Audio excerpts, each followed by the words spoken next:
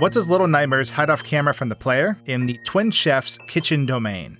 In Little Nightmares, we must survive on this sinister vessel, and almost everything on the ship wants to kill or eat us. This game in its original state is dark, and if we brighten things up, there's a lot hidden off camera and out of bounds. So in today's video, we're going to be covering the entire chef area and all the bizarre oddities that can be found. So I hope you enjoyed this breakdown.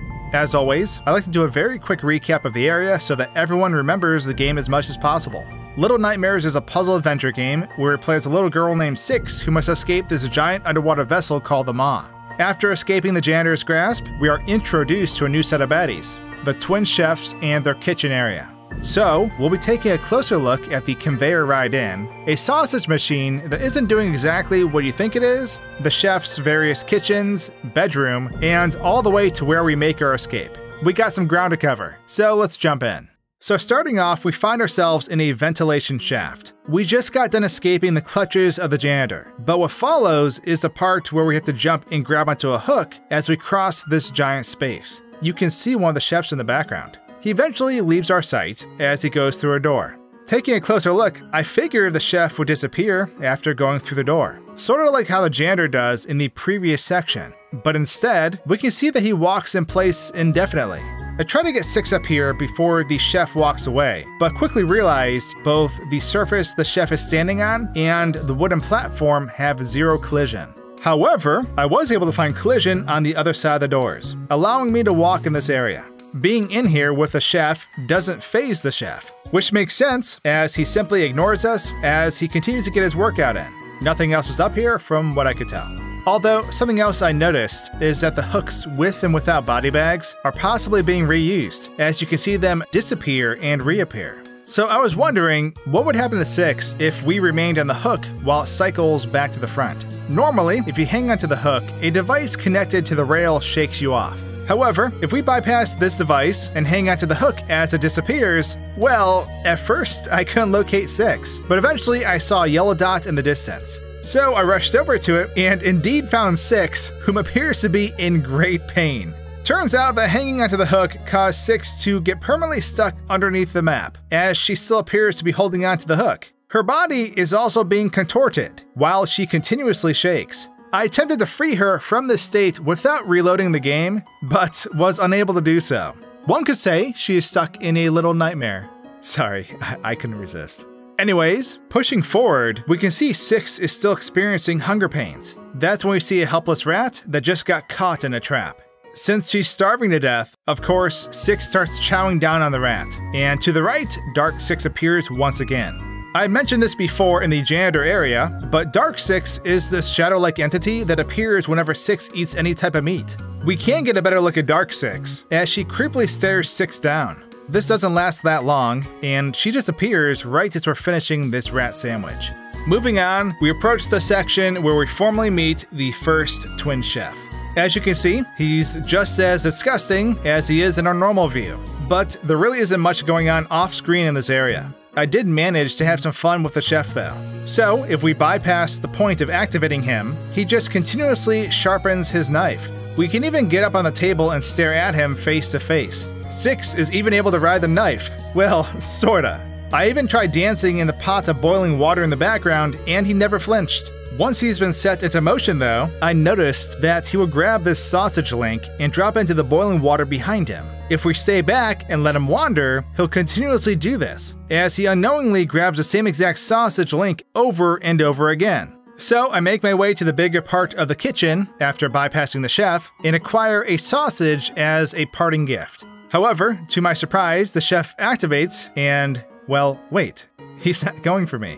I'm not entirely sure how this happened, but I managed to make friends with the chef. I just followed him around like I was his assistant, all while preparing this feast for their guests. That we'll definitely be meeting later on in the game. Let's get back on track though. So normally the player evades the chef as we make our way up into the ceiling area and out of the kitchen.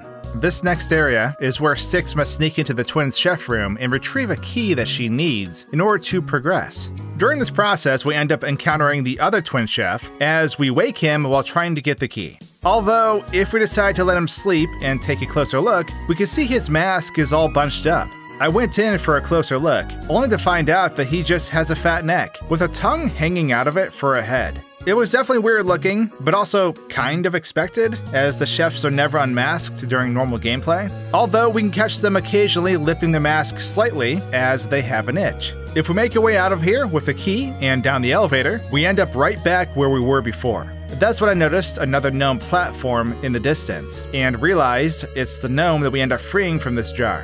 I had mentioned this previously, but we will commonly run to these platforms where gnomes are stored off screen. Anyways, let's move forward though and get out of this kitchen. The next area involves going into a freezer room and setting up various pieces of ham to be dropped into this sausage machine. We then go back down and use the machine to create a few sausage links and swing into the next area. Breaking off camera, we can see a platform in front of this room with leftover developer text saying, quote, where hams get teleported upon completion, end quote. So basically what's happening here is every time a ham goes through the machine to make sausage links, the ham is teleported to this platform. Once I got all three hams through the machine, I got a very cruel idea and decided to take the gnome that's in this room and try putting it in the machine. I wanted to see if it would possibly teleport him to the platform where the hams go, but unfortunately, that isn't the case. At least we could say the gnome wasn't harmed while attempting this. As we continue on, we run into another one of the chefs as he comes down this elevator. We can see that he just materializes in the elevator when we pull the lever, but at this part we normally hide, as we wait for an opening to flee from the area. During this, the chef shakes a crate we're hiding under and pockets some cheese. If we look at this from another angle, you can see the cheese is actually floating behind the box. We also can see that once he pockets the cheese, it immediately goes underground and reemerges, going right back to where it originally was. If we just keep sitting here, the chef will repeatedly keep taking this cheese, making it seem like he has a bottomless pocket. At this point, we're tasked with some more sneaking around, and we find that there isn't much going on off camera throughout this area. So we obtain the key, access another kitchen, outsmart the chefs, and escape this terrible place. Or so we thought. Normally, the chefs continue to aggressively chase Six down, and it's towards the end of this chase that we end up narrowly escaping, as we ride safely away on this conveyor line of hooks. So rather than doing that, I want to see if he'd still chase me while going back the way we came. The answer to this is definitely yes. When the chef is in this chasing state, he's fully determined. So much so that if we rip Six out of the level and just let her fall into the abyss, the chef, in a way, follows. The world unloads and he begins to fall as this pursuit continues. I followed them as they fell for well over 5 minutes. At one point, we can even see the chef doing a grab animation, as if he captured Six. You can see the loading icon appear as if he actually succeeded with capturing us. Another thing I tried was bypassing the other chef and continuing forward on the hook. I was thinking the same thing would happen again, like when we tried this earlier in the game. Sadly though, this kills 6 and loads us back to the checkpoint. I then checked out what the other chef does after going through the door. He of course just disappears shortly after entering it. At this point though, we make it out of the chef's domain in one piece. However, I couldn't resist and decided to go back to see if they would reinitiate a chase with me after successfully evading them. As you can see, they don't have the slightest idea that I'm here, as they continue to squeal in frustration, making for a funny sight. But this concludes our journey through Little Nightmares in the Twin Chefs area. I hope you enjoyed this video, subscribe if you did, and I'll see you in my next one. Cheers!